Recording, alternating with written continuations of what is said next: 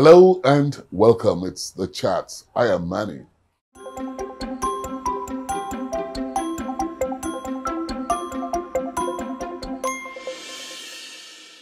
I feel really honored and privileged to have my guest on the program today.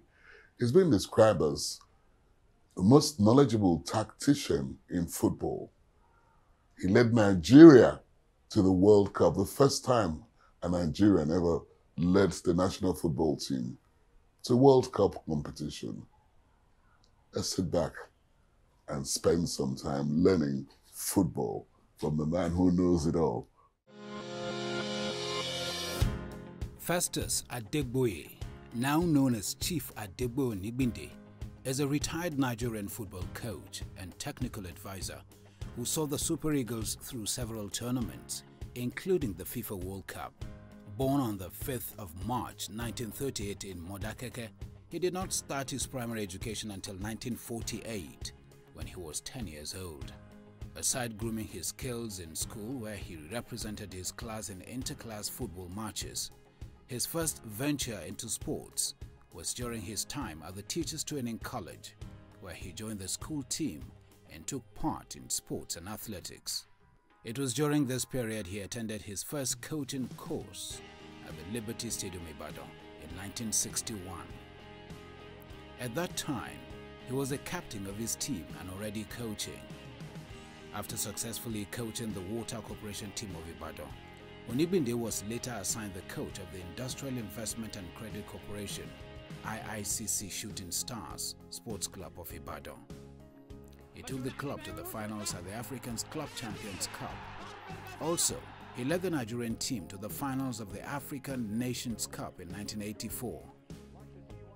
Onigbinde became the official coach of the Nigerian national team after the sack of the coaching crew, at the time led by Shuaibu Amodu, following what was considered a disgraceful performance of the Super Eagles at the 2002 African Cup of Nations. This highly respected Nigerian soccer tactician, who is now 81 years, has served as football manager and a technical instructor for the Confederation of African Football and FIFA. Other than sports, he also ventured into acting at the University of Ife, featuring in stage plays directed by both Ola Rotimi and Wole Soyinka. In his leisure, Chief Onigbinde enjoys playing the talking drum and relaxing with family.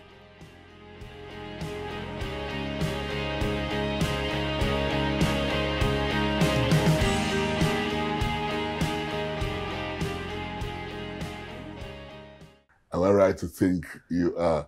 A lot of people describe you as a football academician or an academic who, you know, knows football in theory. As far as I'm concerned, and from the records available, you have something probably similar to the Portuguese coach, Jose Mourinho. He had never played football, was never known to have played football. He was never very, played big time football. yes, the same as you. Aha. Right. How, But it will be wrong for people to say I never played football. I told you I captained the, the teams of all my teacher training colleges and divisional teams. Uh, St. Peter's College, Elisha, for my grade three. Uh, St. Luke's College, Ibadan, for my grade two. And Rural Education College, Akure, for my teacher's grade one. So I played football. Tell me the story about your encounter with uh, uh, Thunder Balogun, Teslim, you know, Balogun, you know, and how he became your coach and how. Well, um, each time I think about him, I become emotional because I saw him and I still regard him as probably the best footballer Nigeria has ever produced. where did your football career pick up from? Well, when I was in the primary school, I was not in the primary school team, although I got selected into the primary school team, but I had no time because of the uh, family situation. After school, I had to go to the farm or go at drumming. So there was no time for me to attend after school trainings. So I didn't play my uh, primary school uh, team. But after leaving the primary school, I taught for one year and then went for my teacher's grade three coincidentally we were pioneering students. The, the, the college had just been established, and we were only 29 in the class, and we had to raise a team. That was where I really got into football. And for 20 years or more, you were the first Nigerian CAF and FIFA instructor, technical advisor. What was your role like, you know, at the time? By the time I got into the services of the Western State Sports Council in 1974, the competition was highly competitive. But at the interview, I, I emerged as the best, and I was appointed, and I started rising from there. Then in 1976, the Sports Council sent two of us to Germany for German A license course in Hennef. Uh, two months of attachment to clubs. In February, we were attached with uh, Hertha BSC of Berlin. In March, we attended the A license. In April, we were uh, attached with uh, MSV Duisburg. So it was a three-month uh, sort of organization. When, when we came back, I was posted in Oyo, the zonal office in Oyo, to develop football in that area. We had about six zones then. I was in that Oyo when I came on leave. I came to Ibadan on leave. And they were looking for me with a letter from the Sports Council that I had been assigned to handle Water Corporation. Of Ibadan. They were the closest rivals to IICC. to IICC then. And that was the team that really brought me into limelight. That's the team there, that photograph. And um, I was on that. We matched second in the National League, second to Shooting Stars. A lot of things happened. Eventually, in 1978, I was uh, withdrawn from water. They claimed there was a misunderstanding between me and water. I was withdrawn. And the following week, I was assigned to Shooting Stars. How would you assess that in a period? Did you achieve much with the de football development in the Western Actually, region at the time? I, I said it. That was what brought me up as a known coach. My assignment with the Water Corporation. And after about two years, I was moved from water to shooting stars. How did you see football development in Africa generally? Being a CAF technical advisor instructor, did you see football in Africa as the, developing? Did you make any contribution towards the development? We are still joking with what? football in Africa, and particularly in Nigeria. We have not faced the, real, the core of the assignment. Uh, Let, let me say this. As a CAF instructor and FIFA instructor, I must have conducted courses in not less than 40 countries in Africa. The whole of West Africa, North Africa, East Africa. So what were your findings? We, we couldn't find a model of football for Africa. Yes, you know, the Spanish found one, the Germans, you know, the Dutch. Now, that is mainly the French. because that is mainly because you don't have a developmental program. well, that was supposed to be have- your responsibility. Yes, but I played my role, but I couldn't have done it alone. For instance, I said I was posted in Oyo for a few months. I was coaching three times a day before school time in the morning, at lunch break, then after school hours. I was moving from school to school. And that is supposed to be the root of the whole thing. Catch them young, they say. And um, with my tour of Africa and some other part of the world, I have not seen a country that is, is as endowed in football talent as Nigeria. But first of all, we are not identifying the talents, not to talk of polishing them into stars. there was a time, I think it was in 1994, Yes. Nigeria was ranked number five or number four in the world. What happened? Now you're talking about 41 position, 42, 43. How could you have dropped so drastically? That is the reason we have not developed football. We are not developed. You see, in those the the, the, British influence was still with us in all this earlier time you are talking about. The British influence was still on us, especially in school. We used to have annually secondary school football competitions. Where are they today? At national level. Even primary schools used to have competitions. Where are they today? Go to some of our big secondary schools today, they don't have a playground. So it's it infrastructure? Well, infrastructure is not there because we don't, we have not created the program that will make it necessary for us to to, to acquire. What about coaching? It, it took a foreigner. It's the same thing. It took a, a foreigner to It take is the Nigeria to the thing. World Cup for the first time. It- it is the same thing. If you want to improve the standard of education in any country, your first port of call is development of good quality teachers. You want to improve the standard of sports, you must have good quality coaches. And that is what I'm saying.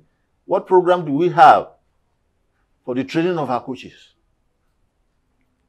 I have been to several dressing rooms in this country, club competitions, national competitions, international competition.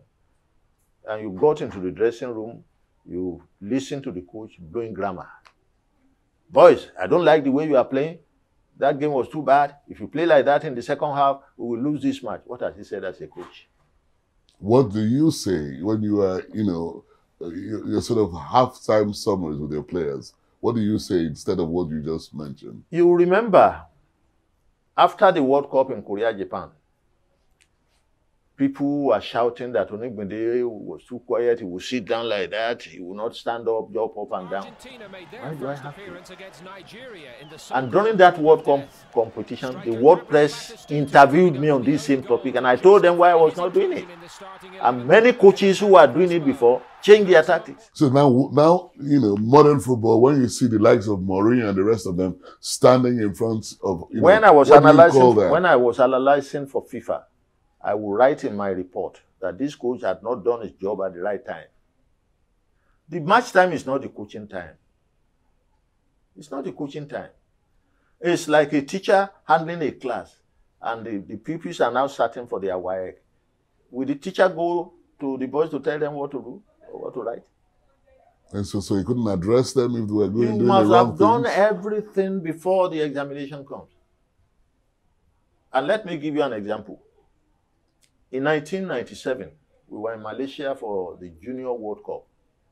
I was on FIFA team analyzing. Then the then first vice president of FIFA organized a dinner for FIFA staff. That's Jack Warner.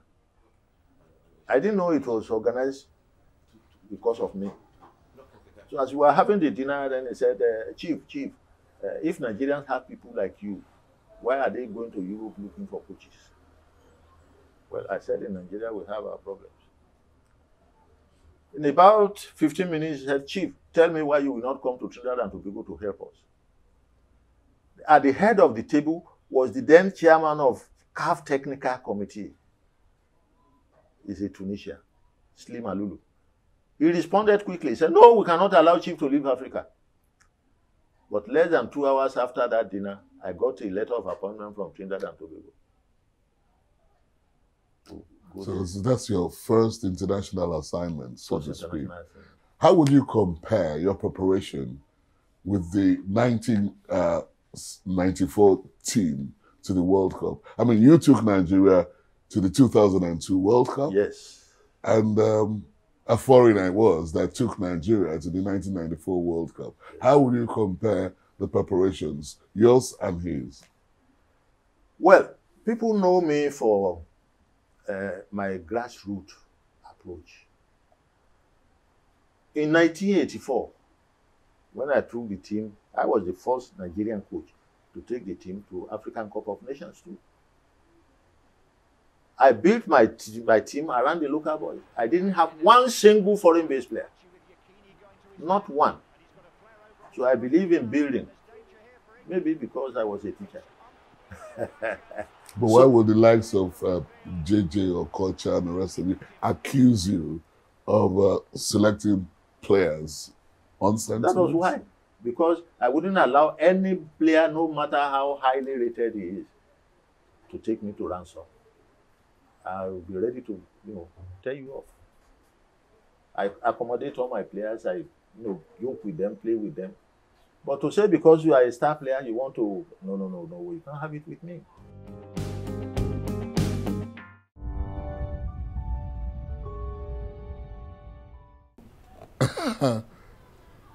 Is it one? Yeah, it's one. Okay. Yeah. Okay. If you are a politician and won an election, what will be your first line of action to make Nigeria work again? Wow. I would like to hear that from you. coincidentally, that is my line of interest. It is. Today, Politics. Nigeria, well, I, I was a politician. Did you vote in the last elections? No, I didn't. Now, hang on. You, the, the road leading to your house is, is, is in a bad state. Is it the Did only road do you know the that- council that- in That's your what I'm area? talking about. Is it, the- is it the only road that is in bad state? okay, now, you- okay, go ahead and answer the that's what I'm question. talking about. Uh, go ahead, Chief, and answer the question. Now, um, if I won an election in this country, the first problem we have to save is to make every Nigerian think like a Nigerian. not like- Patriotism. Not like, a Yoruba man, not like an Igbo man. Have you made an effort to speak another Nigerian language? Uh, Or because is, it, or is just too late? I, it's too late. I have not lived in, I mean, outside uh, this area for a relatively long time. The farthest I've gone from Ibadan. Uh, Ibadan is uh, Ilorin. And Ilorin is Yoruba. and you like your Amala, don't you? Of course, yes. so, first to make every Nigerian think like a Nigerian, Yes. not like an Igbo man. Okay. The area where you have most killings in this country today are the northwest. Samfara, Sokoto, Katsina. Is it the Yorubas that are there? Why don't we see it as a national problem and find solution to it? That's what we should do, exactly. Yes, that's what we should precisely. do. I, I, I think um, we need to reorientate our politicians. Our politicians are too, uh, too stubborn in their quest to gain power. They are not realistic. Maybe not even, maybe naive in the sense Okay. of the word. I didn't want to use that word. well, you have See, now. they are so strong, they, they are stubborn to it, selfish, and they don't bother what happens. They just want to gain power. You have lived football all your life. Yes. Eat, dream. In fact, I read something about you saying there is no other thing that would occupy your mind more than football. Not even a woman. is that right? It is right. Okay.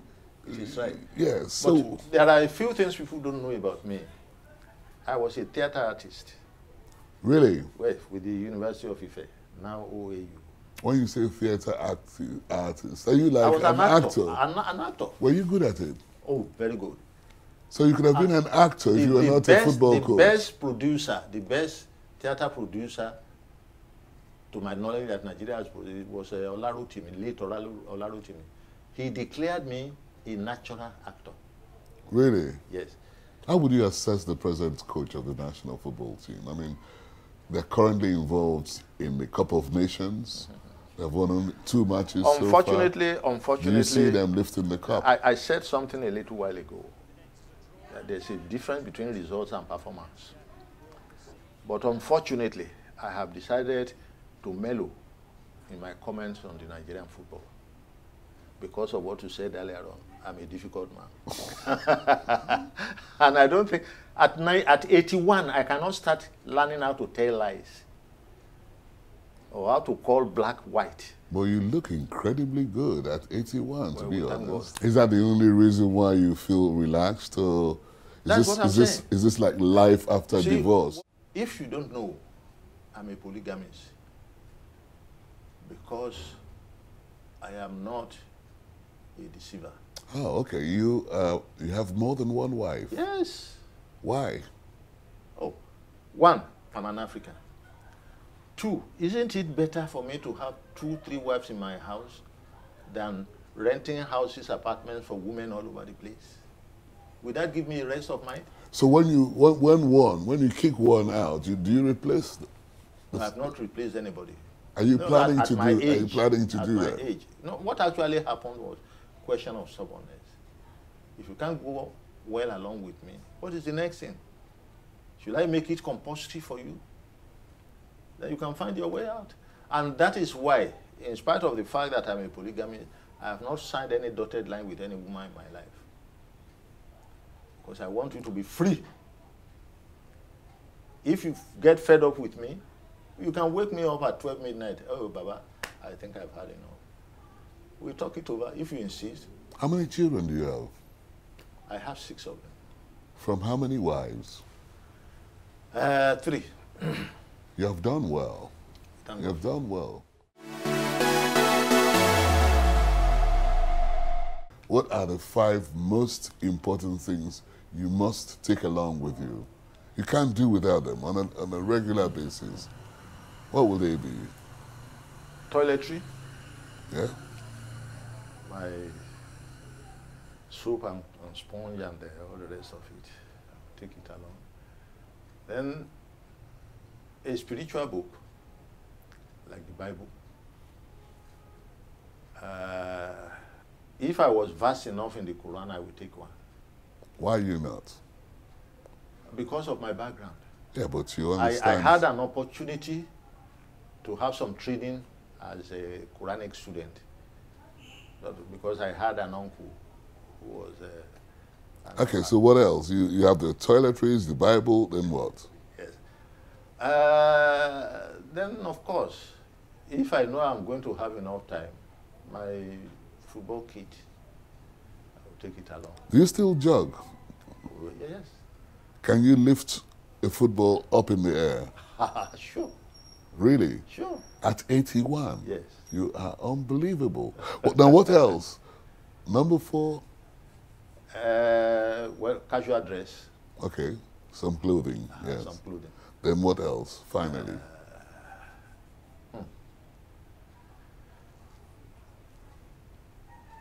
Well, I will want to take along something for recreation. Yes, what would that be? Maybe an ayo, a ayo board. Okay. Uh-huh. You know what it is? It has Yes, eight- yes, eight holes. yes, So yes. that if I have a partner who knows how to play, we play. You won't find one there. So you play a game on your own. Can you do that? Oh, it is possible. Ah, Okay. It's possible. Do, do, do you like music? I do. What I sort of told you- music? I told you, I come from a family that plays the talking drum. And Okay, up- yeah. And up till now, I play it very well. So who is your favorite musician to date? I mean, Well, uh, I will pick Ebenezer Obey because of the lyrics. what does the, lesson- music do the to lessons you? you have to learn from what? It calms your nerves. Yeah, they calm your nerves. And you learn. Okay, you learn a lot of lessons. yes. You want to remind me one of the lessons you've learned from his music? Uh, a lot of them, a lot of them. But um, accepting your life as it is, hmm not uh, being over anxious about things. That everything comes by God. So you don't need to overlabor yourself. What you have to do is to make sure you make your effort. Then whatever comes out of it, you take it as part of your life. Just as you have. Congratulations again. Thank you, thank you. It's nice talking to you, Chief Onigbinde. much. Thank you. And um, You are welcome. You are really welcome. are- are you going to hazard a guess about Nigeria's position in this Cup of Nations? Uh, I'm out of that. because when you talk, they say you are difficult again. I want to, you know, mellow down on Nigerian football matters. Okay. Yeah, Thank you once I again. know that it could be much, much better than what it is now. Yes. Yeah. But we have some people in charge who are doing it the way they know to do it. So I can only wish them the best of luck. And I wish you also the best of luck and many more years ahead of you. Thank you, Thank you very much. It's been Chief Adeboye Onigbinde, a former national coach of Nigeria, uh, football, that is. I am Manny. Let's meet again. The chat is produced by Channels Television. You can watch it again online. Just visit our social media platforms Twitter, YouTube, Facebook.